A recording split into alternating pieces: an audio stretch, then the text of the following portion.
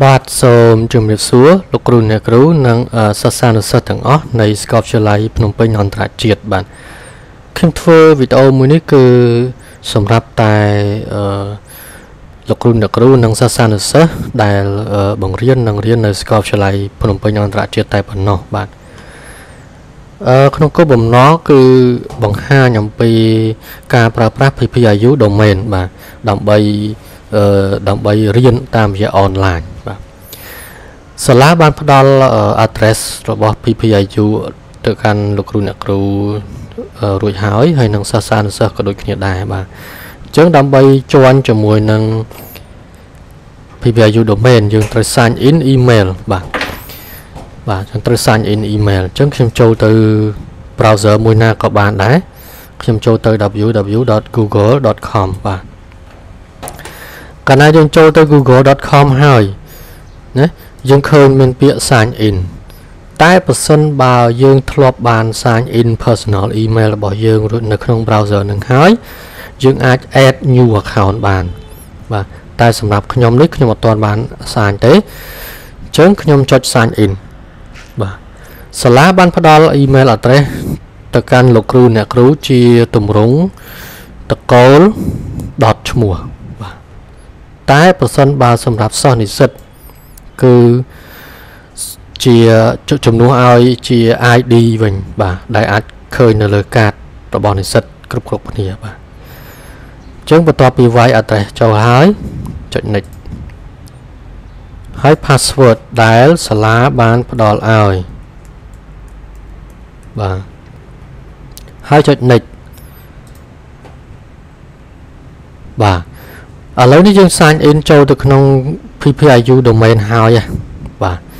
បន្ទាប់មកយើងចូលទៅក្នុង classroom របស់យើងដោយវាយកាត់នៅក្នុងនេះតែម្ដងក៏បានដែរ classroom.google.com ចូលមក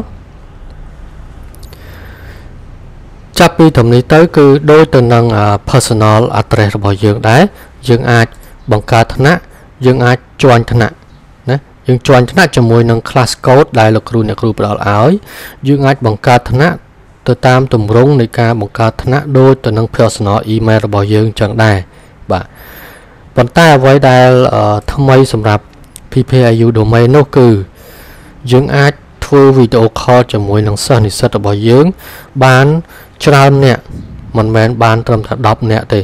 បាទ100អ្នកក៏បានដែរបាទអញ្ចឹងតើត្រូវធ្វើយ៉ាងម៉េចដើម្បីធ្វើវីដេអូ call ជាមួយនឹងសិស្សនិស្សិតរបស់យើង គឺយើងចុចកន្លែងម៉នុយនេះមកយើងចុច meet បាទយើងចុច meet មកសម្រាប់លោកគ្រូអ្នកគ្រូយើងអាចចុចកន្លែង start នេះសម្រាប់សិស្សនិស្សិតក៏ចុចកន្លែង start នេះបាទគឺប៊ូតុងរួមគ្នា តែបើសម្រាប់សិស្សនិស្សិតលោកគ្រូអ្នកគ្រូគាត់នឹងផ្ដល់ជា link មកឲ្យយើងហើយយើងនឹងផាស link នេះចូលមក ហើយយើងចុច continue យើងនឹងអាចជួញជាមួយនឹងថ្នាក់របស់លោកគ្រូអ្នកគ្រូយើងបានណាតែសម្រាប់លោកគ្រូអ្នកគ្រូវិញ គឺយើងអាចបង្កើតជាអឺ topic បាទឧទាហរណ៍ថា session 1 and 2និយាយអំពី introduction បាទ topic អាស្រ័យទៅលើយើងដាក់បាទ topic យ៉ាងម៉េចក៏បានដែរបន្តមកយើងចុច continue សម្រាប់និស្សិតក៏អញ្ចឹងដែរផាស link ហើយយើងចុច continue ដូចគ្នាបាទ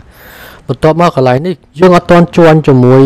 meeting នៅឡើយទេ យើងអត់ទាន់ start meeting នៅឡើយដែរយើងត្រូវ make sure ថាតើកាមេរ៉ារបស់យើងដំណើរការទេ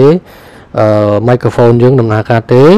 បើ microphone ដំណើរការនេះយើងឃើញមានសញ្ញានេះ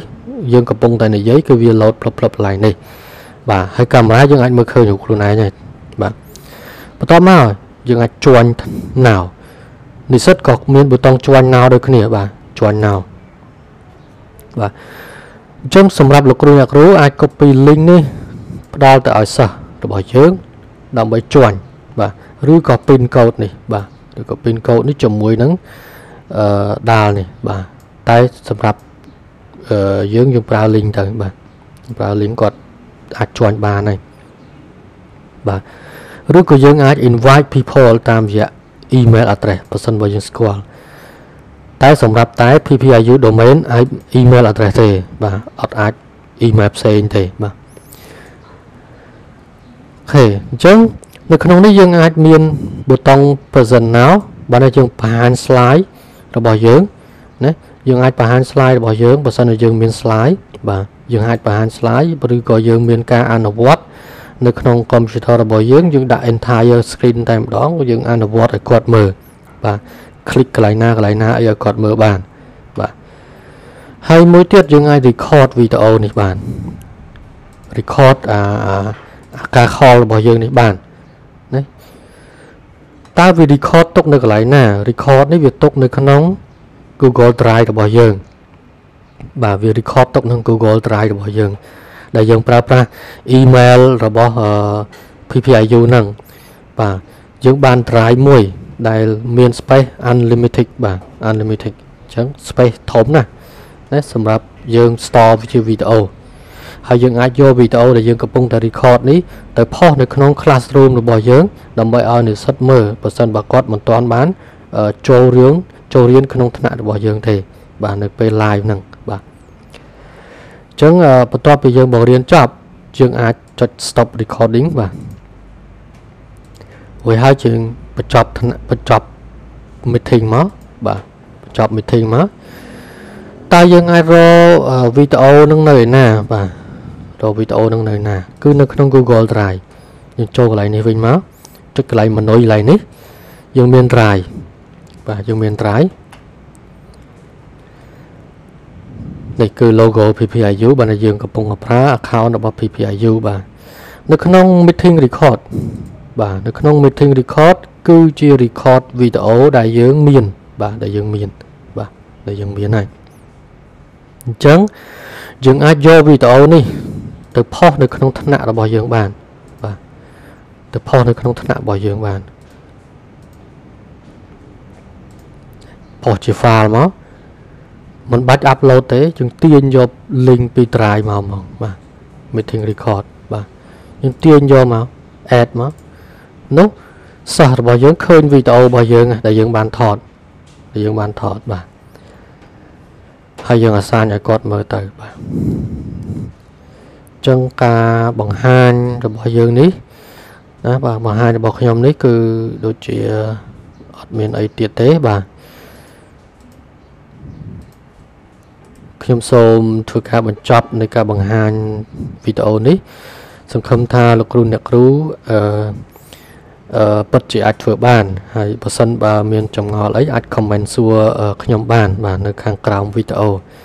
បាទអញ្ចឹងសូមអរគុណដល់លោកគ្រូអ្នកគ្រូនិងសិស្សានុសិស្សទាំងអស់ដែលមើលវីដេអូនេះបាទសូមអរគុណ